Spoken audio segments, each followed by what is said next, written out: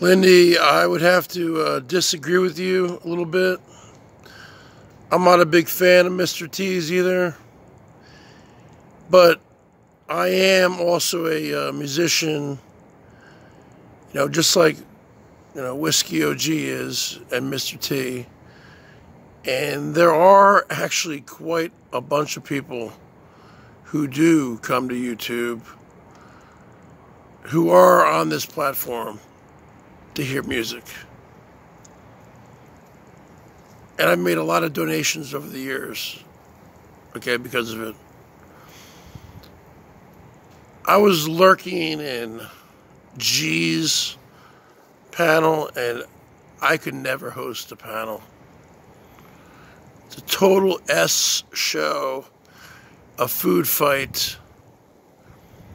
Now, I don't do just music.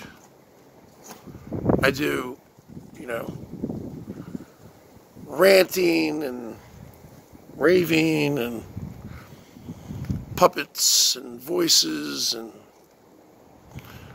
talk about the news of the day.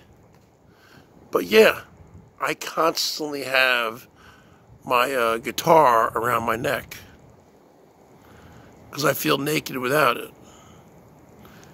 And music is a big part of my show. So I would, I would have to disagree with you there, Lyndy, where you said people don't come to YouTube to listen to music. That is not true at all. Because I am living proof of that. Because I've been, I'm an OG. I've been doing this on the Boyd for five years, and uh, I would have to beg, beg to differ maybe you don't come here for that. You're more into the uh, drama aspect, but I am not into the drama aspect. I can do drama if I wanted to. I can do anything I set my mind to.